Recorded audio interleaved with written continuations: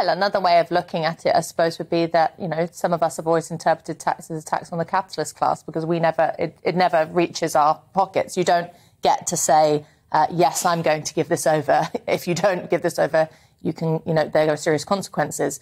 Um, but uh, you know, with uh, it's been very interesting listening to Elliott. I'm going to upset him by saying I want to hear. He's not easily upset. I'm going to say I, I want to hear less about tax. Um, because as much as it's a you know as much as it's a you know fundamental thing, an important point, talking about tax before talking about production is pointless. Um, in fact, Phil Mullan in Spiked, um, online economist writing for Spiked this week, has said it's, it's like going to a, uh, you know, a water fight with a little pistol. It's, it's, it's really pointless.